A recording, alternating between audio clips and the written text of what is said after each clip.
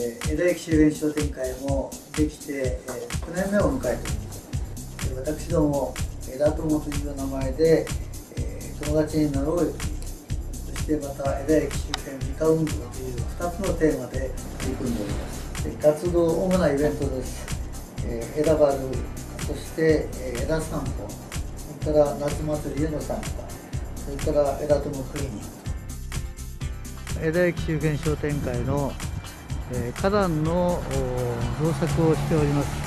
花を植える前の造作の様子でございます。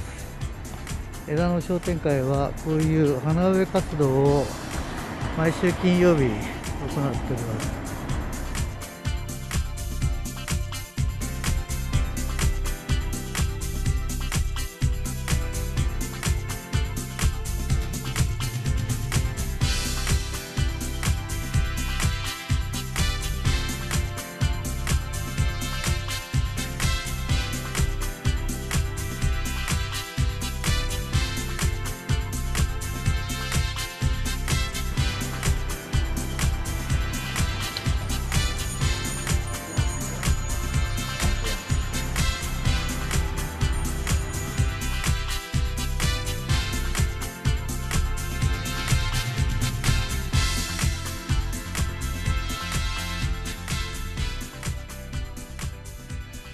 枝駅前徒歩1分にあります獅子丸枝店でございます。